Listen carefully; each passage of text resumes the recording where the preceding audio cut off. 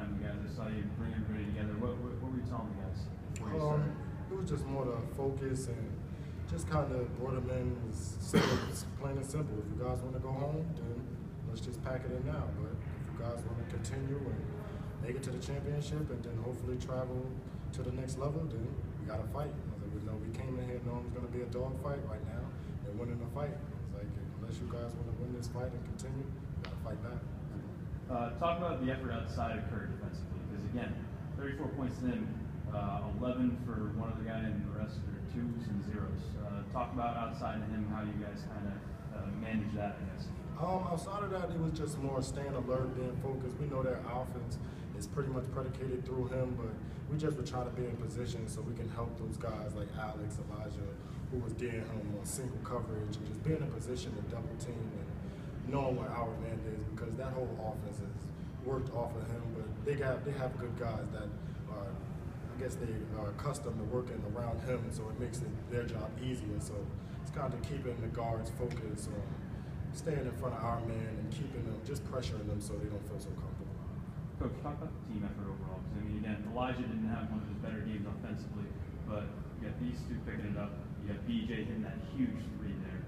I- I mean, talk about has that been something consistent all year where, where you know next Yeah, uh, you know, the thing is, you know, one of the, the beauties with this team is, even though, you know, Rodney and Elijah are the leading scorers, you know, we have people that understand their roles, you know, a like Alex certainly can score more, Gilligan can score more, you know, we, we have, uh, Caldarelli, we have some good pieces on the offensive end. One of the good things we do is we share the ball. I think we did it in the first half, we just couldn't knock down any shots. And I thought, you know, in the second half, you know, we talked about staying within ourselves, staying what we do best, moving ourselves, moving the ball, and good things will happen. And uh, Alex started us off, and then, uh, you know, we made, you know, some tough uh, driving uh, layups, and then Caldarelli hit the big shot. And, you know, you look at the stats, anytime you can win a game when you shoot 37% for the game and 30 from threes, on this level, you don't win many of those, but the way we got it, especially in the last six minutes, you give yourself a chance, you know, to win, and hopefully you can make a couple shots, and that's what happened. You know, once we took the lead by one, I thought they, they were a, a little bit deflated because they were winning the, you know, the whole game, and uh, I thought we just, as Alex said, we just wouldn't have took it. Uh, finally, BJ's three was obviously a dagger. Uh, talk about how that kind of transpired, and then when you see him uh, rearing back to throw that thing up, are you confident that he's going to nail that? Yeah, he, he said big shots. He hit one the other night also. You know, uh, you know, two nights ago, and, and that's uh, that's him. You know, he's not hundred percent. He's about eighty percent. You know, he was out all last year with two hip operations, and we have to rest him. You know, every three or four minutes. And he's a gamer. He said big shots for us now. This is the second time that these guys have been in the NCAA's, and and to get to this point and to win the league like we did regular season and two years ago, you, you know, you need some gamers, and we have, uh, and we have gamers on this team.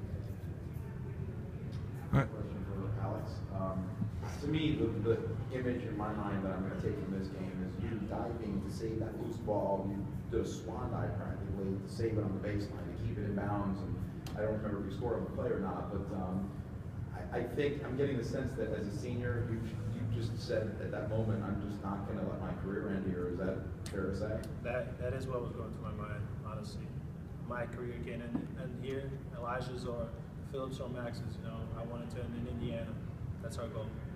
And, and speaking of Max, I mean, I thought one of the key plays in this game that people might forget is when you when you were down ten the last time, he had a three in the corner that cut cut it to seven right after. It was ten seconds after Kerr hit a three to get it to ten. I think that kind of I sense that you got fired up from that, and, and maybe that helped you a little bit. No, no question. And, and, same thing yesterday, you know, and people don't realize, you know, a lot of this game is what you do on the offensive end. It picks you up, uh, you know, on the defensive end, it picks up your intensity. And uh, all game, we couldn't make back-to-back baskets, never mind threes.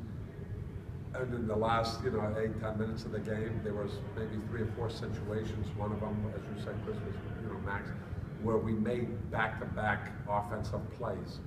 And, you know, it gave us the confidence, got them down a little bit.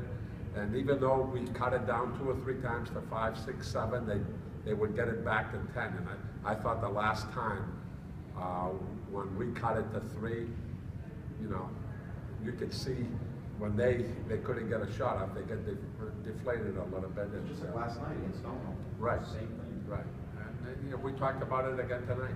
We said, here we are, we're in position to go and take.